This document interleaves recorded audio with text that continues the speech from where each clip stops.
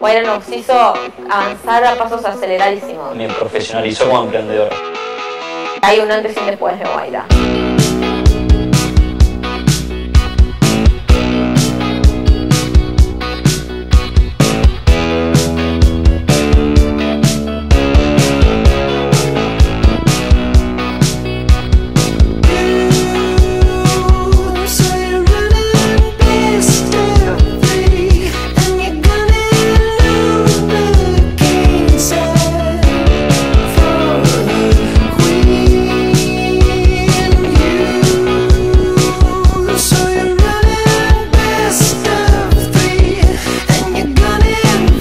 Uno tiene un sueño o si uno tiene un objetivo puntual, perseguirlo. Y es importante nunca darse por vencido, ¿no?